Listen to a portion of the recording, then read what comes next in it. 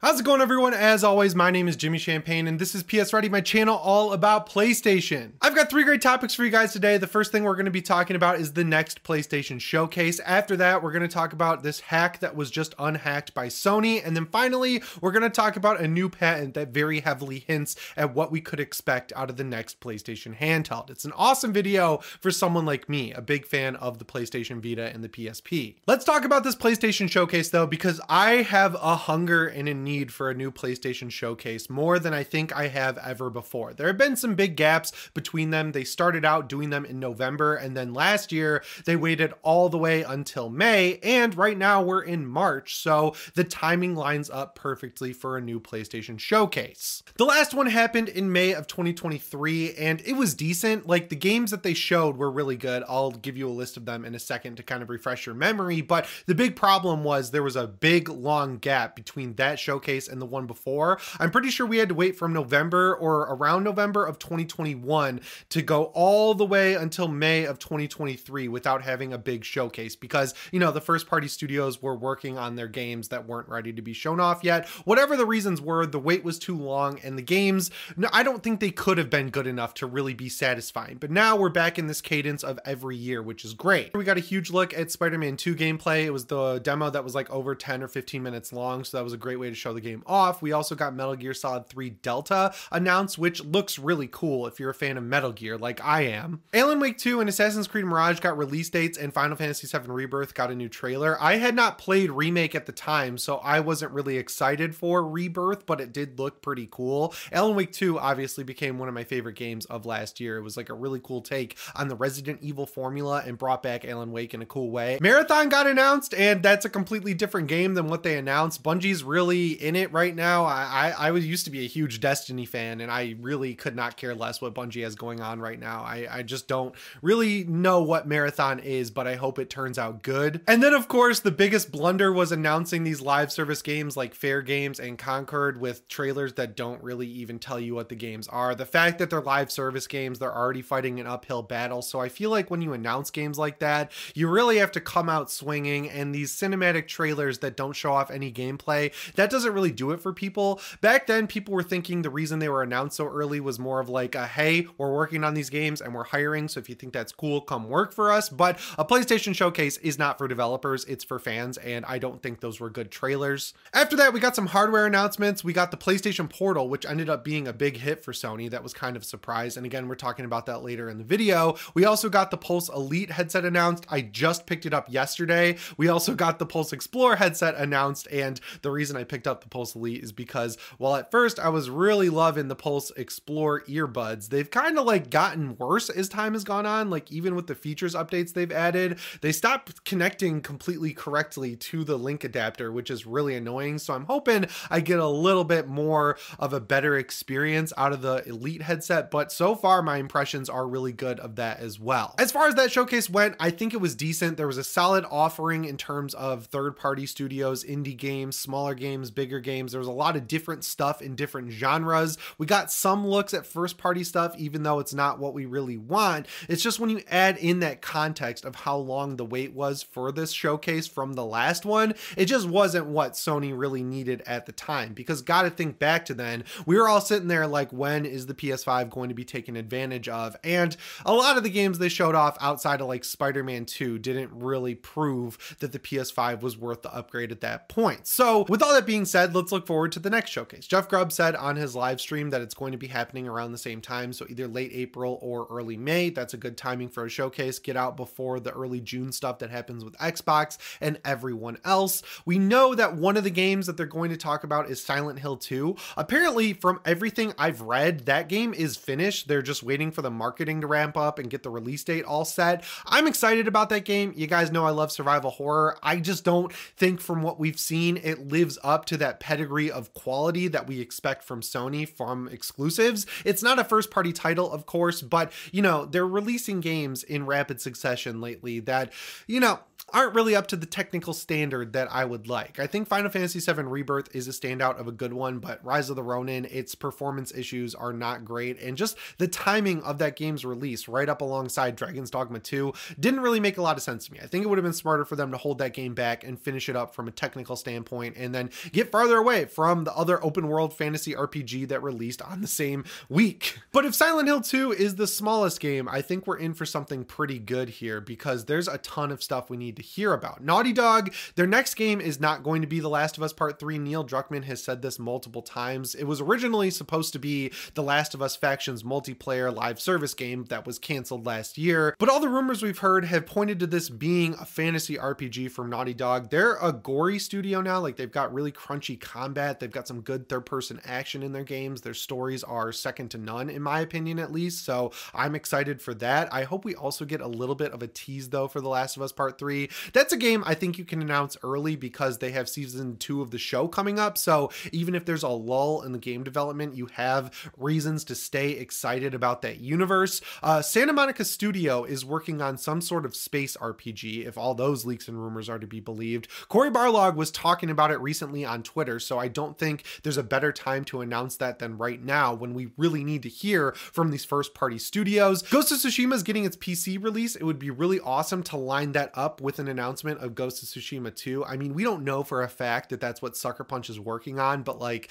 they really got something special with Ghost of Tsushima. So I'd personally be very shocked if they didn't announce something related to a sequel. And then we've also heard that Infamous Second Son, the like launch window title from the PlayStation 4, is coming to PC and also getting remastered for PS5. Speaking of remasters, apparently Horizon Zero Dawn is getting a full on remake from Sony. So that should probably be announced as well. We've heard so many rumors about a Bloodborne remake coming at some point. I really hope that the rumors about that not being for PS5 but being for PS6 aren't true and we finally hear about that. We know that Bluepoint is working on at least a few different games, some original games, some ports or remakes of other games, so we need to hear from them. If they want us to care about fair games and Concord, they need to show gameplay from those two games. They need to really spell out what they are. I think those might be two service games that they're going to give individual state of plays just because, you know, whenever there's a live service game, they love to do these like 30 to 45 minute deep dives that make them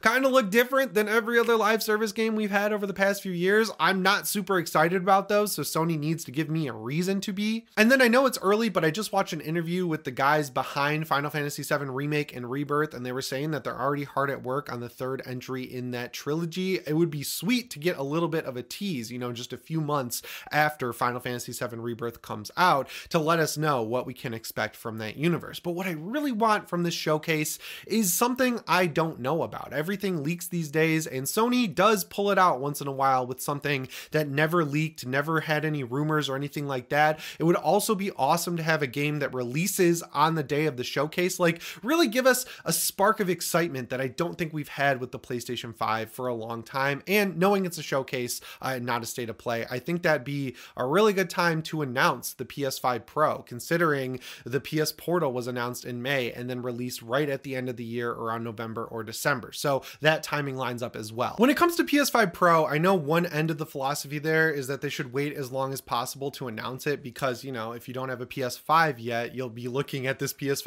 Pro coming out in November and you might not want to pick up a PS5 Slim with a bundle or something like that. But my counter to that is that the PS5 Pro is for hardcore users, aka people who already have a PlayStation 5. That's a upgrade console. That's not like something that the average person is going to get over the original PS5 because they're not going to want to spend 600 or 650 bucks. So I think just knowing that they announced the PlayStation Portal and those two headsets at the May showcase last year, that would be a great time to announce the PS5 Pro and the enhanced features and everything like that to really just, you know, in combination with everything else, get people excited for what's to come. That brings us to the second news story, which is all about the PlayStation Portal. The first half of this story goes back to that hack that happened in February. Essentially, if you weren't caught up on that, two Google hackers were able to hack the PS Portal and actually get a PSP emulator running on it. At that time, people got really excited that they would release it and allow them to hack their portals because the biggest problem, in my opinion, with the PS Portal is that like eventually it's just going to become so obsolete that Sony can stop supporting it and then it's just going to collect dust. Unlike my PlayStation Vita, which, you know, they've totally neutered the online experience and the shop and everything like that. it doesn't get updates anymore, but I can still download the games that work on it from my PlayStation library in perpetuity. And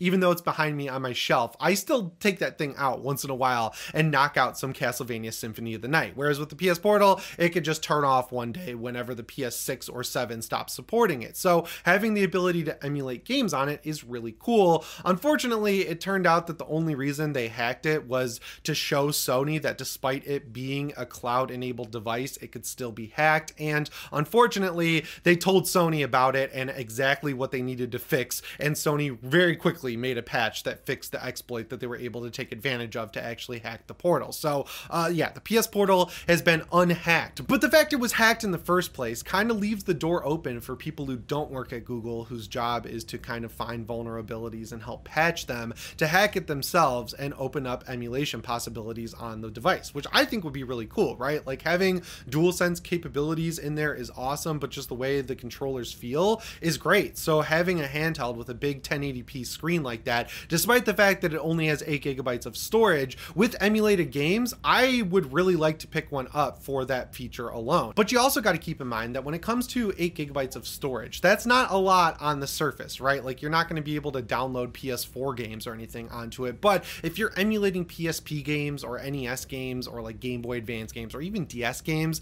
those cap out at like 100 megabytes. You could fit a lot of PSP ROMs onto a PlayStation Portal with just 8 gigabytes. And again, having that actual PlayStation controller and PlayStation button layout with those awesome sticks and the great triggers and everything and that 1080p huge screen, I think that could be a really cool emulation device. So hopefully the dream is not dead there. I'm sure some hackers will be able to figure it out as time goes on, but there's another reason that I honestly might go pick up a PlayStation Portal this weekend, and that's that this update that Sony did that patched the vulnerability that uh, these hackers found actually seems to improve the video quality on the handheld across the board. This has been written up on a bunch of websites, but I dug a little bit deeper and went over to the Reddit for PlayStation, and there's a ton of posts from people who have portals that say with this new update, they've noticed all the bitrate issues where you would get blocky textures, low res video, some latency. It seems to have been completely eliminated with this new patch for the PlayStation Portal. But the other issue that was pointed out by John Linneman over at Digital Foundry is that uh, the Portal's refresh rate is not even with the output frame rate of the games that are coming beamed over the airwaves from your PlayStation 5. So even if a game is running at 60 FPS, it's not an exact matchup. And what that causes is frame pacing issues. So even though it's running at 60 FPS,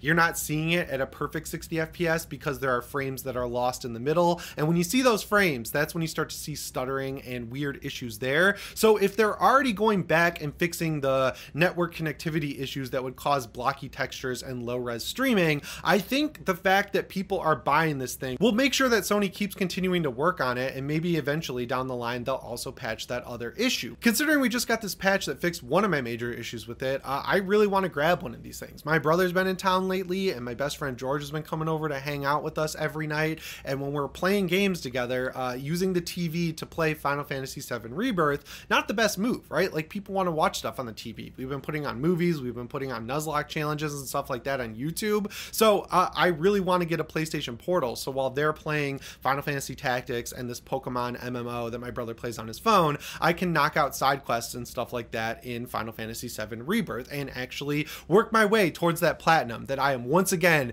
committing to getting. But speaking of handheld, let's talk about this new patent from Sony that lets us know what they're working on in terms of this new handheld that's going to be a true successor to the PSP and the PlayStation Vita. So the bullet points on this patent directly allude to an actual handheld. So knowing that the PS Portal is already out, anything related to that would have been patented a long time ago when they were already working on it. So this patent definitely applies to new hardware. It's a really long patent. Full of technical jargon, but I picked out the three big bullet points from it. And the first one is it switches between playing a game on handheld mode and a console. So if you're talking about a handheld that's PSP style or PS Vita style, that leads right into the rumors we've heard over and over again lately from great sources like Insider Gaming that this eventual handheld will be built to not only play older games like the PS1, PS2, PSP generation, but also be built to play full on PS5 games. And the vision there would be just like the Steam Deck, where you can get a game like God of War, take it on a plane or a train or in your backyard or something like that, make a bunch of progress.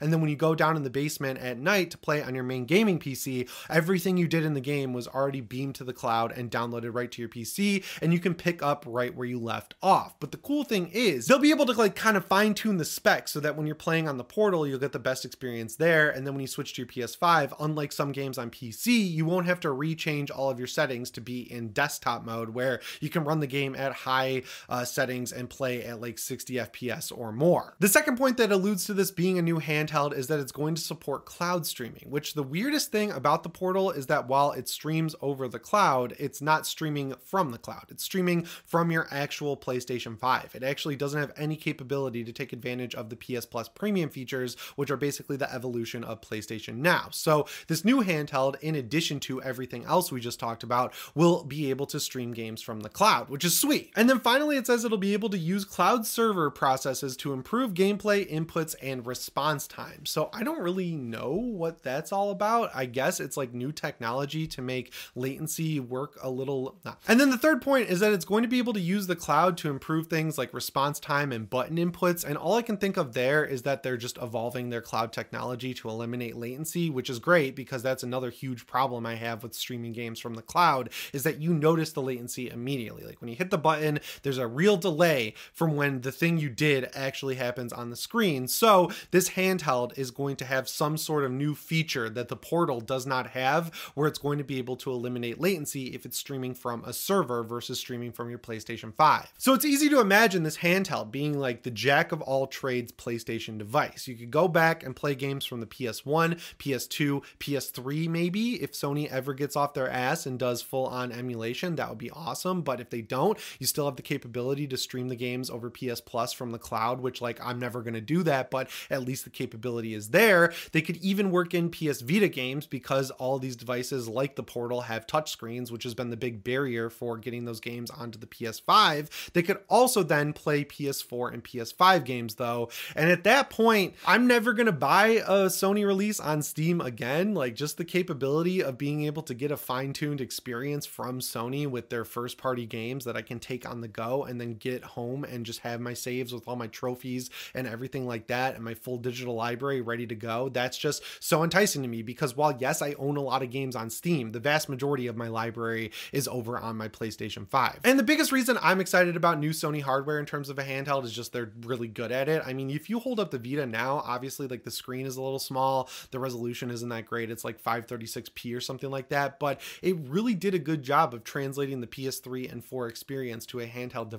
But the next generation of handhelds is just so much better than what we had back in the day because we can take the games we're already playing on the go versus waiting for, you know, I, I forget the studio's name. I think they were called like, oh man, I forget their name, but at first they were the people who made Resistance Burning Skies. And apparently they made that in like six months. And then they turned around and made Call of Duty Black Ops Declassified in like three months, which ended up being one of the best selling games on the PlayStation Vita, despite how mediocre it was. It was cool having games like Uncharted Golden Abyss and stuff and Killzone Mercenary. But at the end of the day, if you're getting this handheld to a point where it's having console style graphics, just let me play the actual console games on the go because that's what I've been doing for two years now with the Steam Deck and it's great. So yeah, I think this is just more confirmation that Sony is working on a brand new handheld. When they patent stuff, it tends to come true, which I really like about Sony. And they've been patenting a ton of stuff related to this new PlayStation handheld lately, so it's only a matter of time until we actually get to see it. Anyway, guys, that's all I've got for you today. Make sure you let me know what you think down in the comments below. Remember to subscribe and set your notifications to all if you haven't already. As always, my name is Jimmy Champagne. I'll see you in the next one. Thanks for watching and shape on.